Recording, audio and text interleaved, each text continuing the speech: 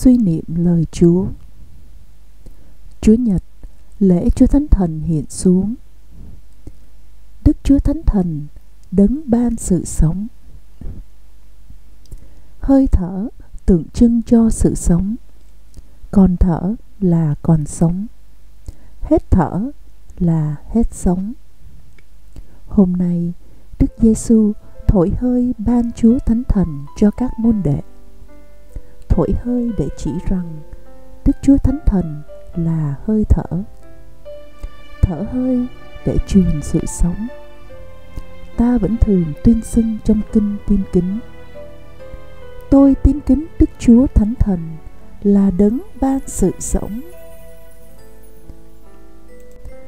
Đức Chúa Thánh Thần là đấng ban sự sống. Điều này được diễn tả trong sách Sáng Thế. Thủ tạo thiên lập địa, cả vũ trụ chưa nên hình nên dạng, chưa có sự sống. Trời đất là một khối hỗn mang. Thánh thần Chúa bay là là trên mặt nước. Thánh thần Chúa bay lượn trên mặt nước để vũ trụ được định hình. Thánh thần Chúa ban cho trời đất một diện mạo và trên hết thánh thần chúa ban sự sống cho muôn loài. Đức chúa thánh thần ban sự sống lại. Ngôn sứ ezekiel đã được thấy trong một thị kiếm như sau. Tay đức chúa đặt trên tôi. Đức chúa dùng thần khí đem tôi ra. Đặt tôi giữa thung lũng. Thung lũng đầy xương cốt. Người đưa tôi đi ngang đi dọc giữa chúng. Những xương ấy nằm la liệt trên mặt thung lũng và đã khô đét. Người bảo tôi, hỡi con người, liệu các xương này có hồi sinh được không? Tôi thưa, lạy đức chúa là chúa thượng, chính ngài mới biết điều đó. Bấy giờ người bảo tôi Ngươi hãy tuyên sấm trên các xương ấy. Ngươi hãy bảo chúng, Các xương khô kia ơi, Hãy nghe lời Đức Chúa. Đức Chúa là Chúa Thượng phán thế này. Đây, ta sắp cho thần khí nhập vào các ngươi, Và các ngươi sẽ được sống. Ngươi hãy nói với thần khí, Từ bốn phương trời, Hỡi thần khí hãy đến thổi vào những người đã chết này, cho chúng được hồi sinh. Thần khí liền nhập vào những người đã chết, chúng được hồi sinh và đứng thẳng lên. Thánh phaolô quả quyết, đức chúa thánh thần đã làm cho đức giêsu sống lại, cũng sẽ làm cho chúng ta sống lại trong ngày sau hết. Đức Chúa Thánh Thần ban sự sống mới. Sách công vụ tông đồ thuật lại. Khi đến ngày lễ ngũ tuần, mọi người đang tề tụ ở một nơi. Bỗng, từ trời phát ra tiếng động, như tiếng gió mạnh u vào đầy cả căn nhà, nơi họ đang tụ họp. Rồi họ thấy xuất hiện những hình lưỡi giống như lưỡi lửa tan ra, đậu xuống từng người một. Và ai nấy đều được đầy tràn chúa thánh thần.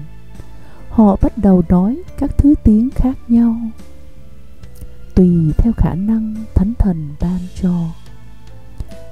Từ khi nhận được ơn chúa thánh thần, các tông đồ trở nên khác hẳn. Trước kia, các ngài nhút nhát sợ hãi. Nay, các ngài mạnh dạn hăng hái. Trước kia, các ngài chỉ là những ngư phủ thất học, không am hiểu giáo lý. Nay các ngài kích tiếng rao giảng tin mừng cho mọi người thuộc đủ mọi tầng lớp, mọi chủng tộc. Trước kia, các ngài còn nghĩ đến bản thân, tranh giành nhau chỗ cao, chỗ thấp. Nay các ngài chỉ nghĩ đến nước chúa sẵn sàng hy sinh mạng sống để làm chứng cho Chúa.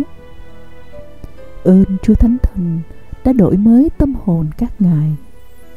Các ngài đã nhận được sự sống mới, sự sống của chúa để sống vì chúa và sống cho chúa. Ngài chịu phép rửa tội, ta đã nhận được sự sống của chúa. Tuy nhiên có nhiều chỗ trong linh hồn ta không có sự sống, vì tội đã ngăn cản ơn thánh và làm chết đi nhiều phần trong linh hồn. Những dục vọng, đam mê, tham vọng, tinh thần thế tục giống như vi trùng len lỏi vào linh hồn, làm cho sự sống của chúa bị tổn thương. Linh hồn suy nhược, không còn tha thiết làm việc lành. Hôm nay, ta hãy xin đức chúa thánh thần xuống phục sinh những thành phần chết chóc trong tâm hồn ta.